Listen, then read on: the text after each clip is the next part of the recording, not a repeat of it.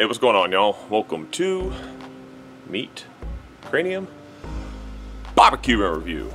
Today, I'm doing beef short ribs. So what I'm gonna do with these, I'm going to marinate them for about four to six hours into wine and some other stuff. Gonna get started on that. And then I'm going to put a nice little light smoke on them. A beef short rib. This is all meat right here. And it sits on a bone right here. It's kind of like a little meat pillow, if you if you want to say. Hashtag meat pillow.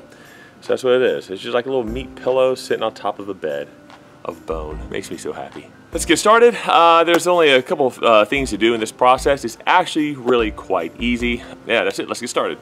We put some thyme, rosemary, a bottle of uh, just some cheap red wine right here. This is like $5 bottle of red wine. We're doing an onion, so a couple of green onions. I have some garlic, two carrots, and some ginger.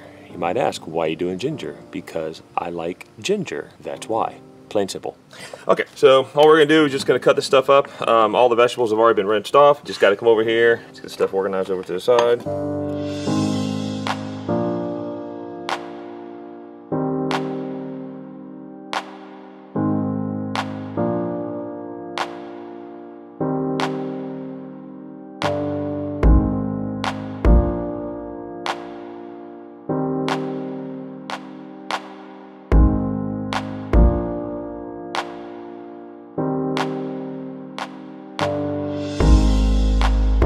Then you got uh, some ginger. Okay, I'll be back. I'm gonna go get a bigger bowl and transfer this all into so I can stir it all up. That looks pretty just like that, doesn't it? Anyhow, here we go.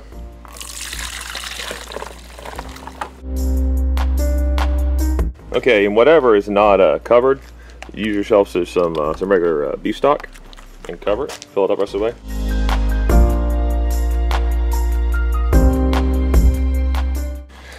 Okay, so uh, can't get it all covered, but it's okay. Just make sure that the meat part of the, the pillow part of the rib is down inside the wine and the beef stock. Now I'm gonna go ahead and just uh, throw the rest of the uh, thyme in here. That's good. All right, so I'm gonna let it sit in this uh, this marinade, this solution right here for four to six hours. Probably be more around the probably the four hour mark. Depends on if I have something I gotta do. So uh, I'll be back when this is ready to go onto the pellet smoker.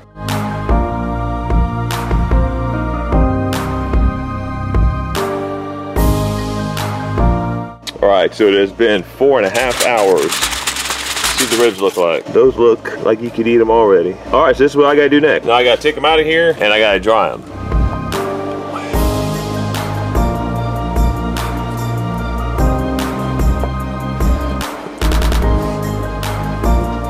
This one here is a little thin, so it's not very big. Not much pillowiness to that one.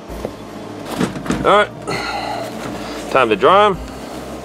Okay, and after they're good and dry, go ahead and uh, I got some uh, salt, pepper, garlic here above.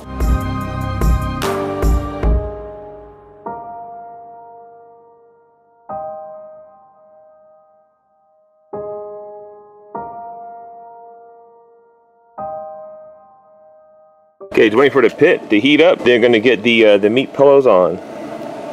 Those sweet, beautiful meat pillows.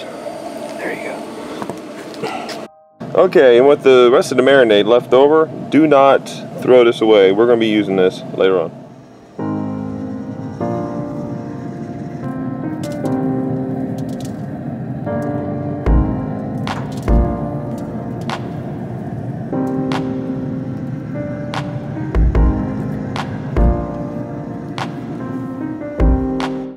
Right, so it has been a half hour. Go ahead and get some uh,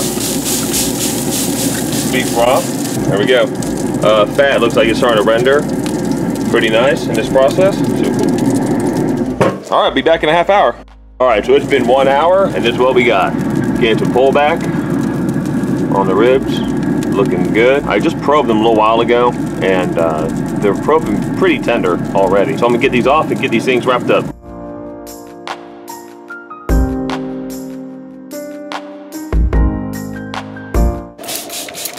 beef broth here.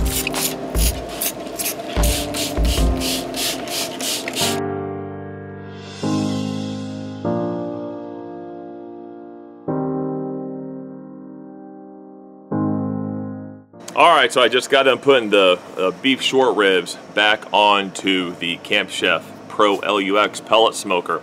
I just cranked the temperature up to 350 so they can get really hot and steam inside there.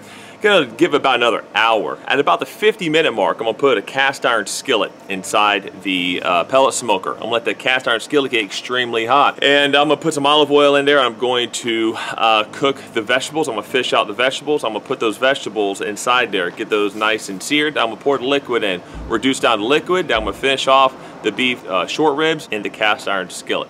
And uh, after that, it's gonna be perfect. This is the best way to do uh, beef short ribs in my opinion because you get a little bit of smoke, you got the wine, you got all that stuff working for you and they're going to be tender and they're going to be juicy. They're going to be perfect.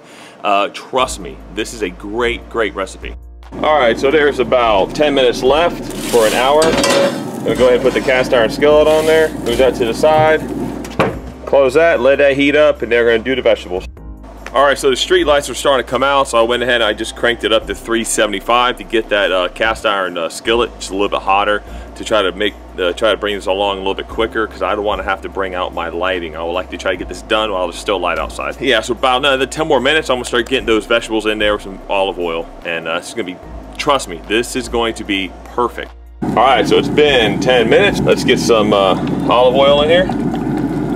That's the first step. All right, the oil's nice and hot. Let's get the vegetables in there. And I pulled out uh, a lot of the um, rosemary and the thyme, but I kept a little bit in there. So there's a little bit in there, you'll see. Then I'll do the, uh, the red wine. Stir this up a little bit. I'm going to uh, remove the ribs and let those just sit. Those are done, and I'm going to concentrate on this. Starting to rain. Great. All right, so change of plans. I'm going to try to speed this up a little bit uh, sooner. So I'm going to go ahead. I'm to transfer the uh, the cast iron skillet to here. Go ahead and transfer everything over to my induction cooktop and just uh, go ahead and get this done because it's starting to get late. I just want to get this thing done and it's also starting to rain so uh, just going to go ahead and speed up on here uh, and, and kind of cut some corners. So there we go.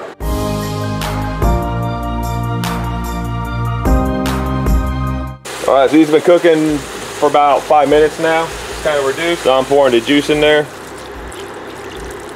Time to reduce that. And I'm going to uh, put the beef short ribs in here and finish them off. All right, so let's see what the, uh, the ribs look like after uh, they've been resting. Oh my goodness, look at those. What an absolute meat present that is. Look at those. That's beautiful. I'm about to put it over in there. That's uh, the marinade is boiling. We're going to reduce that and put the uh, ribs into there. Look at that. That is gorgeous. Sweet. All right, so it's been about 10 minutes and it's reduced down a little bit. And I'm going to go ahead and add the, uh, the ribs back in here.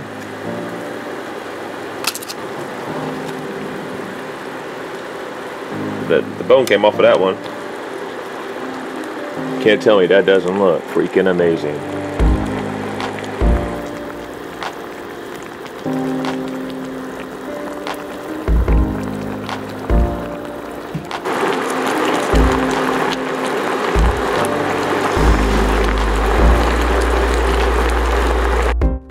So I just uh, turned these back around now the meat and the bones are facing down and the meat is up. Just uh, reducing this a little bit more and letting it thicken up and it's to be golden.